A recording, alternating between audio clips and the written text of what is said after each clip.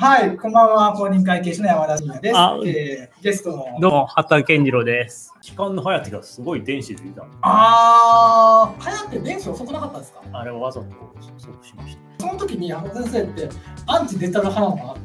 えっと、アンチデジタル派ではなく、その当時のデジタルの状況が良くなかったあんまりお金にもならない上に、Kindle とかで一強になってきたじゃないですか。まああそうと。ブックウォーカーとか。うんだけど、あの当時はもう乱立してて、めっちゃありましたね。めちゃくちゃあったじゃないですか。山田電機とかもありました。そう。で、この状況で出して、紙は売れなくなるわけだと。あのあ状況の中だと。の実際僕が見てる限りではその傾向が若干あったんですその時はだから一回止めたんですよで時が満ちたら一気に出した方が効果的じゃないかな、まあそうですね。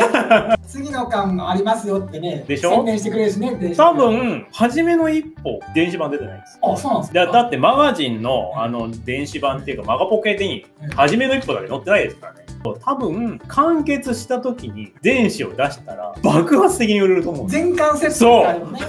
で、酔っ払った大人は1万円くらいかえい、ポチって。そう今全巻セットがクリックできるようになって当時それもなかったですからあ、そうなんですね。もっと言うと今とにかく可愛いに関して言うと、あのに普通少年誌のうん Kindle 版ってはい。同時に出ないんですよ。おー、多分1ヶ月遅れとかね。1ヶ月遅れとかが普通、ますね。でもそれをやめてくれとあ同時に出す。同時に出すように僕は言ってど僕のやつは少なくとも同時に出る。それって作者が言ったらなんとかなるもんなんですね。あれって僕なんか普通に技術的なものだと思いました技。術的な問題じゃないです。単なるもう作業的な優先順位の問題。いや僕は絶対にその書店に損させないというかそこは多分ねもう住み分けられてると思うし書店で売れるものは電子でも売れますから赤城の最終巻なんか電子版が出るまでどんだけかかったか。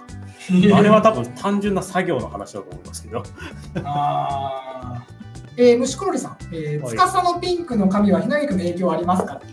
これはですねはい。実は初めっていうかもう連載直前まで青だったんですよ。そしたらですねうちの担当さんがですね、はい。印象が薄いんじゃないかと あ言われましてだからカラーの時にじゃあなんか自分の好きな色って言ってやるとどうしても僕好きな色髪色ってなったらなんですかピンクなんですよ。ー でそれは無意識です、でも確かに颯の他のキャラってピンクはいるのかな？ピンクいないっす。あのそう色を被らないようにしてるんで。あ51巻してる。あの一切一人もいないです。えー、ちゃんとかぶらかぶらないしてるもんなんですね。そうですよ。もう全部被らないようにしてるんで畑先生の中でピンクの髪はヒロインそうらしいんですよ。多分幼稚園児ぐらいの頃に見たミンキーモモのピンク色の髪にね。はい。多分影響されてるんですよ絶対。潜在意識にヒロインはピンクって決まってるんだと思う。あでも当時そうなのかな。他のだって僕何の意識もなく書いたアドアストラっていうあはいはい宇宙のやつのヒロイインも気づいたらピンクでしたから。うわうわああ、じゃあ正統派ヒロインって多分確かにピンクのイメージが。あともっと言うと僕は今までで一番愛してやまないキャラクターが無責任艦長平のアザリンアザリンね。アニメ版のアザリンねいいっすね。はいはい。あれ髪は赤な赤いです。あれは赤い。であれの影響が強いんですよで強すぎるから赤は避けたいんですよああ、赤だと被ると。そうアザリンと被ると。そうだから赤い髪の人多分一人もいないと思うんですよあ真っ赤そうですね。うん、そうだから赤は避けるんだよなーっていう、好きすぎると避けるもんなんですね。さっきのピンク、はい。カラーを描く段階で青だったのを直したから本編の中で普通赤の髪だとはい。トーン貼るんですよ。おお。貼ってないでしょ？司ちゃんの髪の毛。あ、本当だ。トーンはないですね。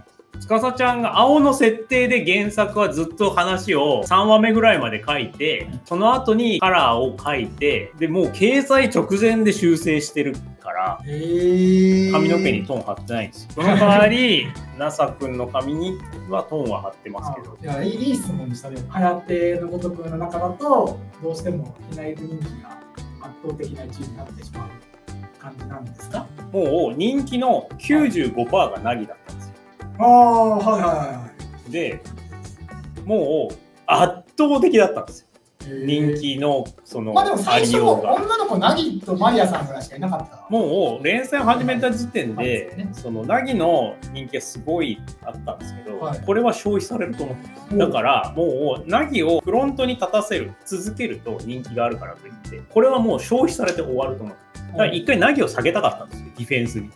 で、オフェンスに誰かを投入した時に、ヒナギクを投入して、こいつにオフェンスを任せれば、うまくバランスが取れて、漫画が回ると思ってた。んですおおそう。実際そうなりま実したね。際、白鴎学園っていう学校に行ったら、ひなぎくにスイッチを入れて、屋敷に戻ったら、なぎにスイッチを入れるっていう風に分離させれば、ここの作品の寿命は伸びるって踏んだんですよ。